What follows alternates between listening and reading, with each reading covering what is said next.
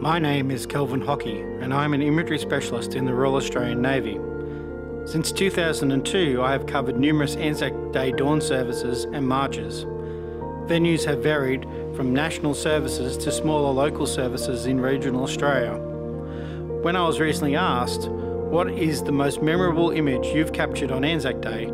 My mind was drawn to a single photograph that was taken in 2009 at the dawn service in the coastal township of Greenwell Point, New South Wales.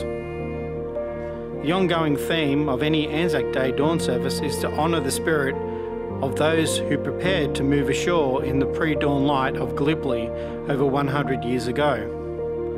While photographing the service, I noticed two petty officers standing near the catafalque party, behind them the tranquil waters of the Crookhaven River.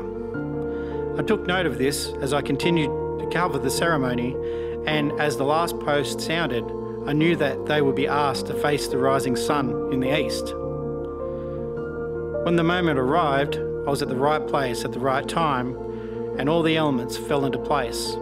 The colour developing in the sky was simply spectacular, and with the darkness giving way to the light, there were beautiful variations of deep blues penetrated by the yellow of the morning sun.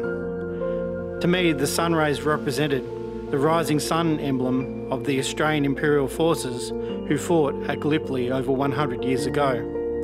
The pride and the level of respect of the two petty officers in the photograph is palatable. For me, the nameless black shapes saluting that new dawn light represented the whole ADF that day. At the going down of the sun and in the morning, we will remember them.